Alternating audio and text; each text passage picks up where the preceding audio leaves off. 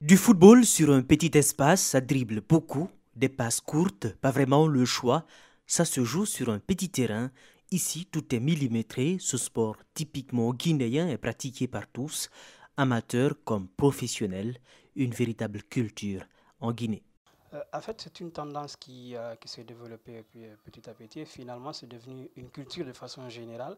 C'est dû à plusieurs raisons. D'abord, peut-être dû au manque d'infrastructures, ça peut s'expliquer comme ça. C'est plus facile d'avoir un terrain à jouer sur Bundes, puisque là, ça ne demande pas beaucoup d'espace par rapport au, au grand champ, puisque là c'est 5-5, donc c'est plus facile pour les équipes de, de s'entraîner. Ensuite, sur le côté technique, c'est plus facile pour les entraîneurs de travailler quand il y a peu de monde par rapport à, une équipe de 10 ou 12. Le plus souvent, même les équipes de grand champ, en s'entraînant, ils commencent par 5-5, ils partagent les équipes euh, en deux parties, donc le plus souvent, ça aboutit euh, à cette forme de, de, de compétition à, à Bundes. Premier constat donc, au début, ce sport populaire était pratiqué plus par manque de choix que par passion véritablement, pas suffisamment d'infrastructures sportives, alors la rue devient la seule option pour les jeunes Guinéens. Aujourd'hui, difficile de savoir si ce sport est pratiqué par passion ou par manque d'infrastructures. Des Guinéens de tout âge se livrent à la pratique de ce sport tous les soirs à partir de 17h. Les ruelles des quartiers sont prises d'assaut. Ici, nous sommes à Antagnor, à Conakry. Ah bon, comme pour le moment on n'a pas de relation pour ça, c'est pourquoi on s'est passé pour jouer sur ce petit terrain-là. Donc c'est pas facile quand même. On a envie d'avoir les grands terrains, mais comme n'y a pas de grands terrains, on va se ici pour le moment. Si pour certains ce sport est pratiqué par défaut de stade, ils sont par ailleurs nombreux, ces autres jeunes, à pratiquer le bundes par pure passion, certains alternant même le football grand champ et pétiquant appelé bundes.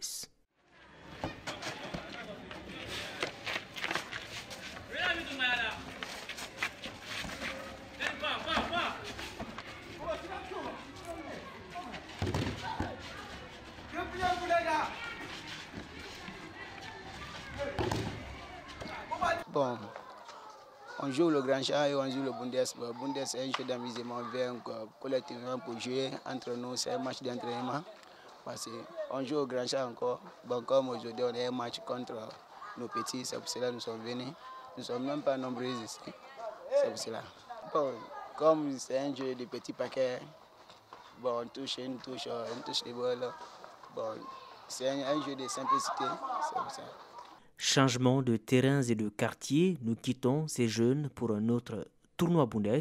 Nous sommes dans une école. Là aussi, les élèves sont en fête, une fête marquée par une compétition en Bundes.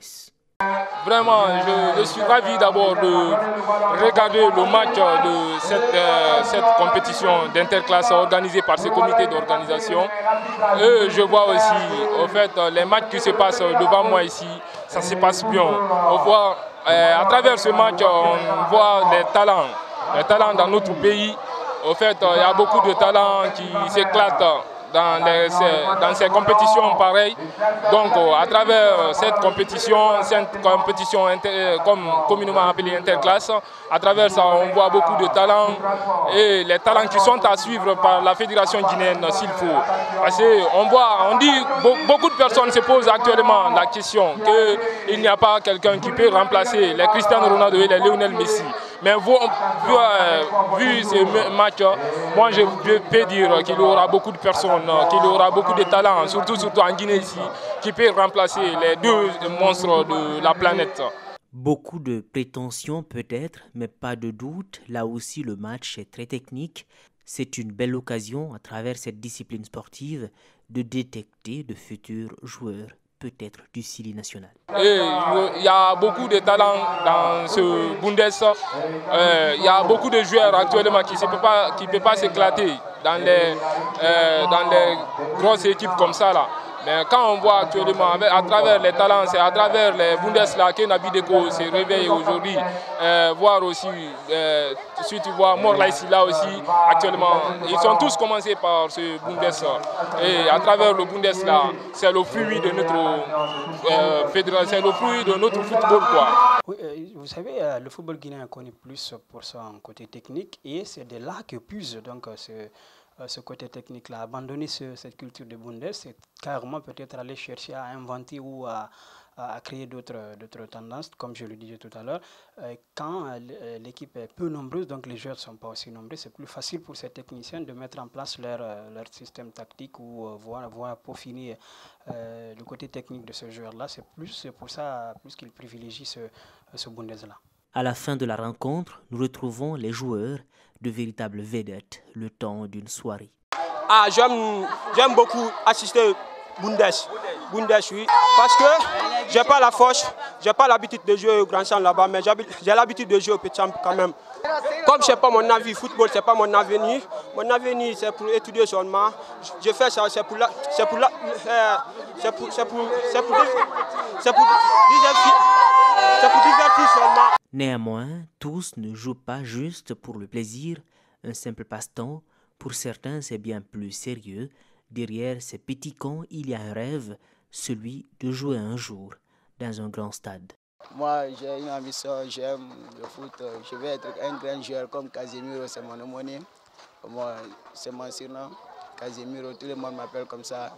J'aime le football, je vais être un grand joueur dans le futur.